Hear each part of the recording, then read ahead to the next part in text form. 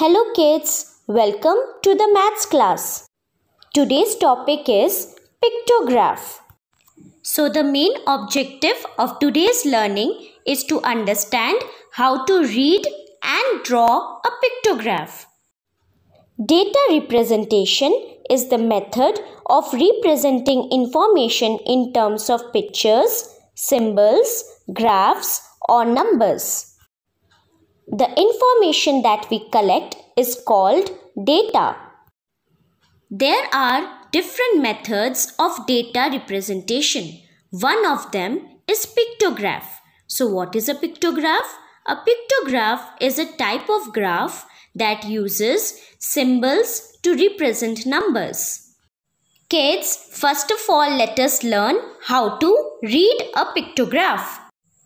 Now kids, as you can see, there is a pictograph drawn over here. The pictograph shows the different types of food that a group of children like. So, the name of different food items are written over here. Salad, sandwich, fried rice, noodles and cake. And smiley faces are drawn over here to show how many children like the different food items. Now kids, how we are going to read the pictograph. We will read it with the help of the key that is given to us. So what is the key that is given to us? One smiley face is equal to four children. That means one smiley face that is drawn over here represents four children. So kids, salad is liked by how many children? Let us first count how many smiley faces are drawn. 1, 2, 3, 4, 5, 6, 7, 8, 9 faces have been drawn. And we know that one smiley face is equal to 4 children. That means we have to multiply 9 by 4. If we multiply 9 by 4, 9 multiplied by 4 is equal to 36. So we will write over here 36. That means 36 children like salad. Now next is sandwich. Let us again count how many smiley faces have been drawn. 1, 2, 3, 4, 5 smiley faces. And one smiley face represents 4 children. That means we have to multiply 5 by 4. So let us multiply 5 multiplied by 4 is 5 4s are 20. Next is fried rice. Let us first count how many smiley faces have been drawn. 1, 2, 3, 4, 5, 6, 7, 8, 9, 10 and one smiley face is equal to 4 children. That means we have to multiply 10 by 4. 10 fours are 40. So we will write over here 40. Next is noodles. Let us first count the smiley faces. 1, 2, 3, 4, 5, 6, 7, 8, 9, 10, 11, 12. 12 smiley faces. And we know one smiley face is equal to 4 children. That means we have to multiply 12 by 4. So 12 fours are 48. That means 48 children like noodles. Next is cake. Let us first count how many smiley faces have been drawn. 1, 2, 3, 4. Only 4 smiley faces and one smiley face is equal to 4 children. So we will multiply 4 by 4. 4 fours are 16. 16 children like cake. Now kids, according to this pictograph, we have to answer this simple questions. Read the pictograph and answer the following. So we have already taken out how many children likes which food item. So we can now easily answer these questions. So what is the first question that is given to us? Which food item is most popular? So kids, Noodles is liked by 48 children. That means noodles is the most popular food item. So over here we can write down noodles.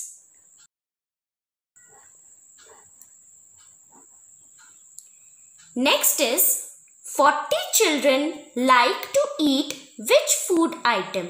Let us see which food item is liked by 40 children. Over here that is fried rice. So we will write over here fried rice.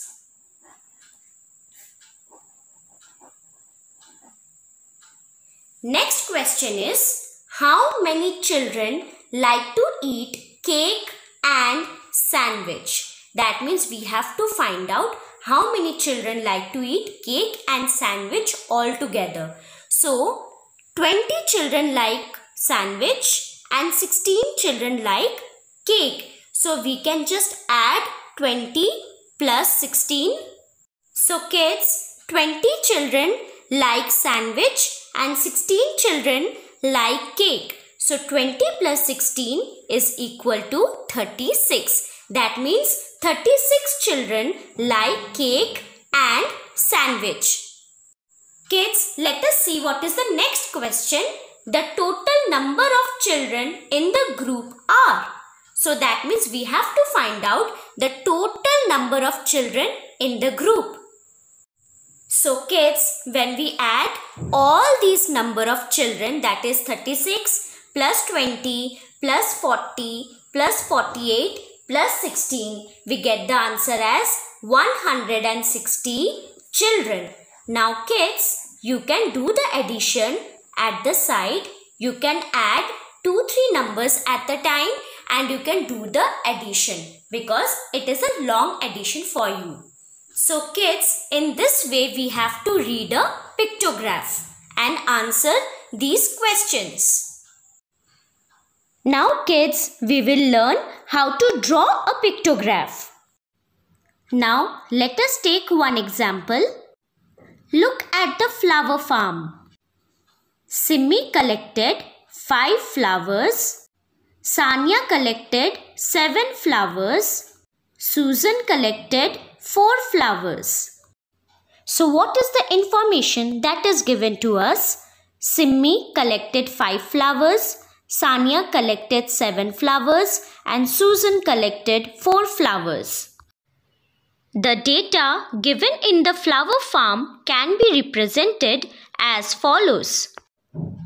This data can also be represented by drawing pictures. It is called pictograph. Kids, as you can see, a pictograph is drawn using the given data. The key that is given to us is one picture of flower is equal to one flower. So, as we know, Simi collected five flowers. So, we have drawn five flowers. As we know, Sanya collected seven flowers. So, we have drawn seven flowers. As we know, Susan collected four flowers. So, we have drawn four flowers. Kids, you must know every pictograph has a title which tells us what the pictograph is about. The pictures in the pictograph tells us about the given number of objects. Next, it has labels which tells us what kind of data is shown. Next, it has key which tells us the number the each picture is equal to. Kids, we should be able to collect information from pictograph by reading it. Hence, from the pictograph we can say that Simi collected 5 flowers, Sanya collected 7 flowers and Susan collected 4 flowers. Now kids, can you answer these simple questions based on the pictograph? How many flowers did Susan collect? So, according to the pictograph, Susan collected four flowers. Who collected the highest number of flowers? As we have seen in the pictograph, Sania collected seven flowers. That is the highest number of flowers. What is the total number of flowers collected by the girls altogether?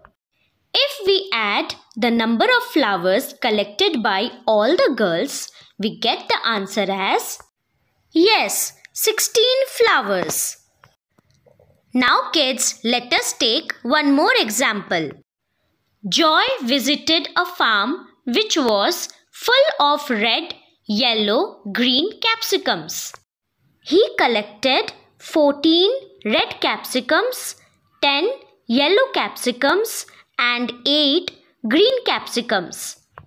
So kids, we have to draw the pictograph for the given data and the key that is given to us is 1 red circle is equal to 2 capsicums.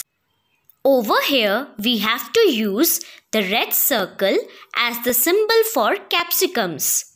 That means instead of drawing capsicums, we can just use the symbol red circle. Now kids, let us draw a pictograph using this data. Let us read the data once. Colors of capsicums red, yellow, green.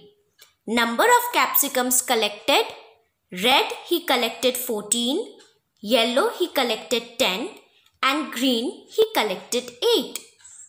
So kids, what is the key given to us? That is 1 circle which is red circle is equal to 2 capsicums. That means we have to divide 14 by 2 to see how many capsicums or red circles we have to draw. So let us divide 14 divided by 2 that is 7. So that means we have to draw 7 capsicums or red circles. In the same way, next is yellow capsicum that is 10. So again we have to divide 10 by the given key that is 2. 10 divided by 2 is 5. That means we have to draw 5 capsicums. Next is green capsicums. That is 8. Again we have to divide 8 by 2 to see how many green capsicums we have to draw. So 8 divided by 2 is equal to 4. That means we have to draw 4 red circles. Now kids, let us draw. Now we have to draw 7 red capsicums and the symbol of the capsicum that is given to us is red circle. So we will draw over here 1, 2, 3, 4, 5, 6 and 7 capsicums.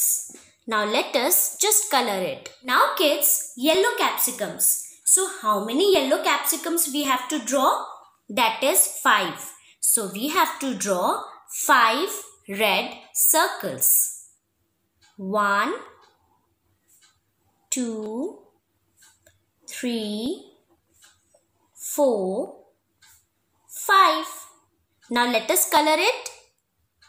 Next kids, we have to draw green capsicums. So, how many green capsicums we have to draw? That is 4. So, what is the symbol of capsicums? That is red circle. So, let us draw 4 red circles. 1, 2, 3, 4. Now, let us color it. So, kids, can you see? We have drawn the pictograph for the given data using the symbols that is mentioned in the key. Now kids, let's recall what we have learnt today. We have learnt how to draw pictograph for given data. To draw the pictograph, step 1 is to read the given data carefully. Step 2, Understand the key for the pictograph. Step 3. Use the correct symbol as mentioned in the key.